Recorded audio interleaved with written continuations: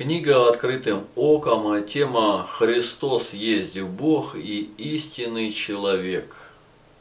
Вопрос 1202, том 4.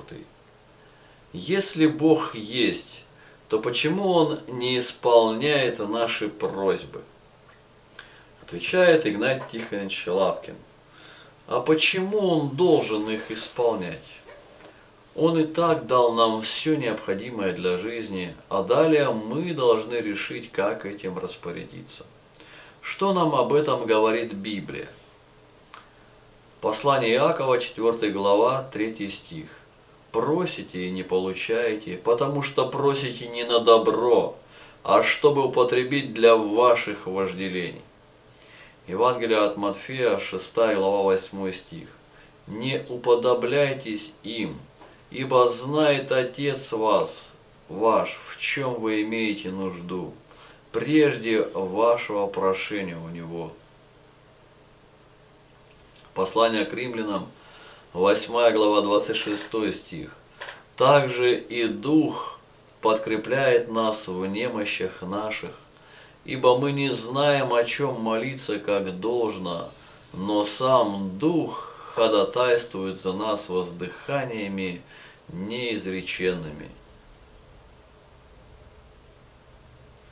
Послание к римлянам, 8 глава, 28 стих. Притом знаем, что любящим Бога, призванным по Его изволению, все содействует ко благу. Евреям, послание 2 глава 4 стих. При засвидетельствовании от Бога знамениями и чудесами и различными силами и раздаянием Духа Святаго по Его воле. Евангелие от Луки, 11 глава, 13 стих.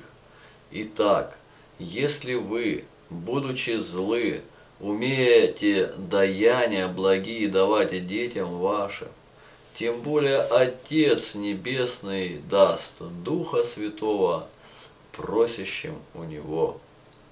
Второе, второе послание Петра 3.9. Не медлит Господь исполнением обетования, как некоторые посчитают то медлением, но долготерпит нас, не желая, чтобы кто погиб, но чтобы все пришли к покаянию. Господь знает, в чем мы имеем нужду прежде нашего прошения.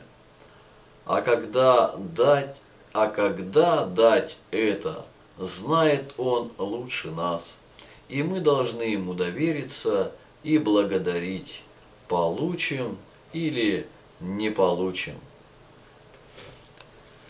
Мир утопал во мгле глубокой, в цепях метался и стонал, и лишь вдали звездой далекой отрадный свет во тьме сверкал.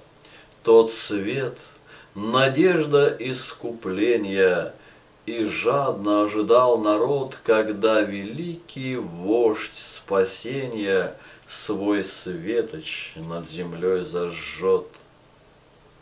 И он пришел, Христос Спаситель, он жил с людьми, он их учил, и что ж, божественный учитель людьми слепыми распят был.